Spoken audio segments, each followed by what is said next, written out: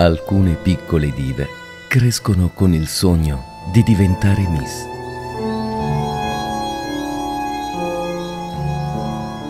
La corsa al titolo ha inizio.